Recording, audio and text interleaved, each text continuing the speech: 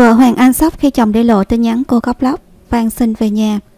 Dù hết tình nhưng còn nghĩa, đằng này vợ Hoàng Anh sốc khi anh im lặng trong khi bạn bè nam diễn viên liên tục tung tin nhắn riêng tư của họ. Câu chuyện diễn viên Hoàng Anh âm thầm đưa đơn ly hôn vợ, nhận rất nhiều tranh cãi. Công chúng chỉ trích anh vì cho rằng sau khi đạt mục đích sang Mỹ định cư đã nhanh chóng vứt áo ra đi. Ngoài ra vợ anh đã dùng mọi cách để giữ chân, từ xin lỗi đến năn nỉ, bỏ qua cả sĩ diện mong chồng quay về. Nhưng bác Thành cho đến ngày cô nhận giấy báo ly hôn thì mọi thứ mới vỡ lẽ. Quỳnh Như bức xúc vì bạn của chồng tung tin nhắn cá nhân. Mới đây nhất, trên trang cá nhân vợ anh đã đăng tải dòng trạng thái khá dài để nhắn nhủ đến bạn của ông xã vì hành động đối phương bỗng có những thông tin clip đề tư của cặp đôi liên quan đến việc vợ anh năn nỉ van xin chồng vay về. Đồng thời đối phương còn cho rằng chỉ là việc Kiều ra muốn, chẳng phải đại gia, tính tình keo kiệt và hay mắng chồng nặng lời. Trong đoạn clip, vợ diễn viên Hoàng Anh khóc lóc và năn nỉ diễn viên Hoàng Anh vay về. Cũng cùng phận phụ nữ, mình không hiểu vì lý do gì bạn có thể tiếp tay chà đạp mình trong khi mình đang cố gắng ôm nỗi đau để có thể sống tốt và lo cho con. Mình tự hỏi vì sao bạn có những đoạn clip và tin nhắn mình đã gửi cho anh Hoàng Anh là chồng của mình.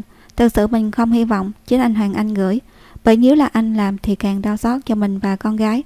Mỗi người phụ nữ đều có cái tôi, vậy mà mình phải hạ cái tôi xuống để năn nỉ chồng về. Là mình sai hay sao? Chồng đi suốt hai tháng không về thăm con, con bị bệnh cũng không thấy đâu, cô bạc bạch. Vợ nam diễn viên cho biết mình không có lỗi, nhưng vẫn nhận hết lỗi chỉ mong con có cha. Cô cảm thấy bản thân rất đáng thương khi xem lại clip. Khi xem lại clip mong ông xã chuyển ý, ba mẹ một con không hiểu vì sao đối phương lại dùng cách tàn nhẫn để chà đạp người mẹ. Người vợ thương chồng, tuy nhiên Quỳnh Như không trách móc vì cho rằng đây là bạn anh nên bên vực Hoàng Anh. Bên cạnh đó cô không quên gửi thêm vài dòng cho chồng cũ. Bởi lẽ chị thắc mắc không hiểu vì sao những tin nhắn cá nhân đó chỉ gửi cho anh và bây giờ người khác lại có đầy đủ đến vậy. Với yêu thương năn nỉ hạ mình với mình mà anh coi như một trò tiêu khiển, một trò đùa để đưa cho bạn anh, để đăng lên hạ nhục vợ mình vậy sao anh? Người ta nói hết tình còn nghĩa mà anh, anh không nghĩ cho em cũng nghĩ cho con. Sau này nu lớn lên, con sẽ nghĩ sao khi ba nó từng suối người dân để tố mẹ nó, cha đạp mẹ nó, sỉ nhục mẹ nó, là đàn ông chân dính đàng hoàng, có ai làm vậy với người từng chung chăn gối không anh? Cô cho rằng Hoàng Anh quá cao tay khi không cập nhật bất cứ điều gì về hôn nhân hay trả lời phỏng vấn truyền thông mà mượn tay người khác để nói nặng với vợ. Vốn chỉ không gạo nếp gà tẻ, vẫn muốn giữ hình ảnh diễn viên.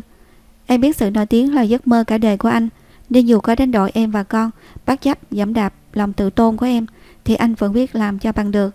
Em xin chịu thua anh vô điều kiện, vì em đã thấy rõ lòng dạ đàn ông, khi yêu thương lắm lời đường mực, khi đạt được mục đích thì rũ bỏ, vùi nát và dìm người phụ nữ từng là của mình xuống bụng nhơ và đạp lên để đi tiếp chặng đường mới có thân mình sạch sẽ nhất. Mẹ của con gái anh thẳng thắn. Quỳnh Như cho biết mình chịu thua đối phương vô điều kiện. Anh muốn mượn tay ai hay nói gì, làm gì thì cô cũng chịu. Mẹ bé Nu tự cố gắng, nghĩ rằng đây là nghiệp kiếp trước mình phải trả. Đến cuối cùng chỉ mong một điều duy nhất. Chỉ một điều duy nhất, em xin anh, nghĩ đến con và là một người cha chân chính.